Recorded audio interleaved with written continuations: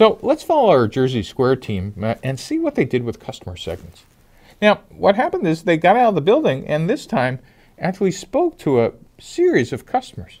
They spoke to over 60. And what they found out was what they originally thought was a single customer segment actually turned out to be there were two separate segments.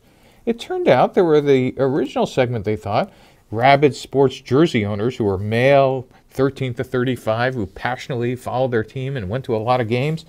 But there were also people who casually attended games, male and female, and they uh, kind of were closer to 18 to 30, and they were casual fans. So, number one is you can now see that there are not only two customer segments, but there are two value propositions.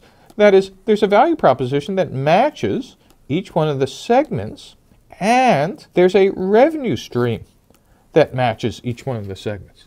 And so now you can kind of see the power of the canvas. This is a multi-sided market. Uh, you have at least uh, two customer segments, and uh, you have two value props and uh, uh, attendant revenue streams. Now you should notice what the Jersey Square team did wonderfully well is they actually started with the archetype.